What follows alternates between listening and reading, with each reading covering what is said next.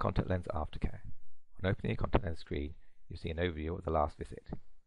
Inputting is split into two screens, Contact Lens 1 and Contact Lens 2. To start a checkup or fit, click on Add Record, which takes you to Contact Lens 1. Then choose a practitioner. Enter a reason for visit. Double-clicking as before will fill in all the average wearing time through to solution boxes, or you can manually fill them in.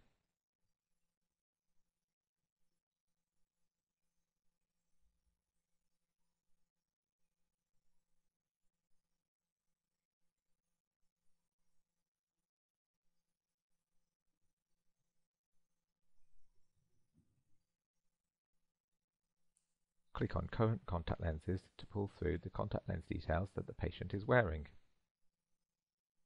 Enter the VAs.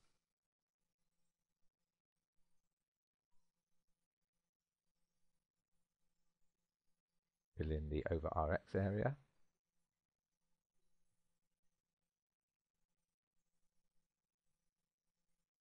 And add some notes if necessary.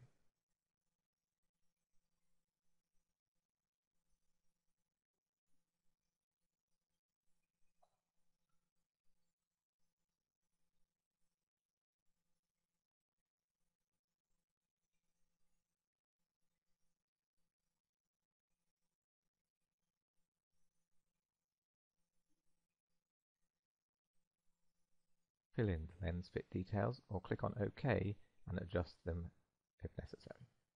Click on Contact Lens 2 to take you to the second contact lens page. Click as before or Ocular Health OK and adjust the information for this visit.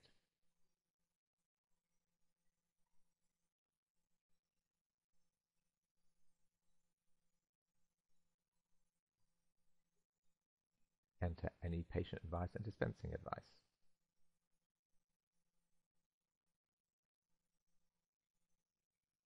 Enter recall months. Click copy old or old plus sphere over to fill in the contact RX details after the check. This area must be filled in.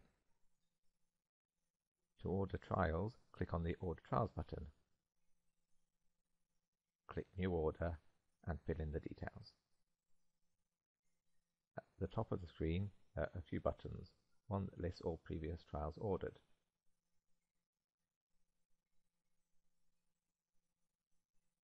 You can create a list of contact lens trials that haven't worked. You can record teachers. You can view previous sight test records. You can record temporary notes which stay open even when you go out of that patient's contact lens screen or their patient detail screen. It will always stay on top. When you've finished, just click on one of the main menu Patient Details or Eye Exam buttons. An initial fit also uses the same screens. Just choose initial fit at the top of the screen instead of check.